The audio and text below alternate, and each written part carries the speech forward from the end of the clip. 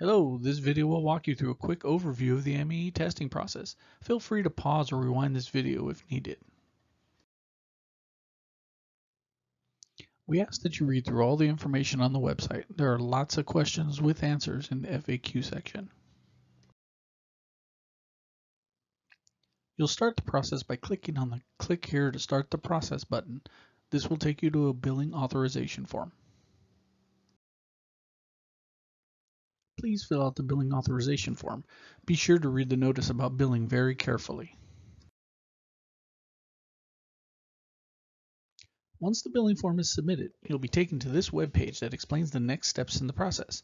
You can bookmark this page for later reference. After clicking the link for ALEKS, you'll confirm the class and create an account if needed. If you already have an account, just use those credentials. ALEKS is where you'll take your assessments. Unproctored assessments are for your practice. Three hours of preparation is required between each assessment. The link for ProctorU will take you to a page that looks like this. Create your account from here to be added to UCR's MAE. If you already have an account, you can use those credentials to log in.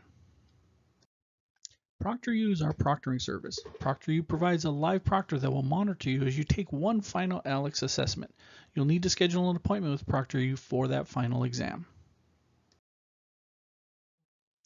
The MAE website answers most of your questions about the exam and the process. Here are some of the most frequently asked questions.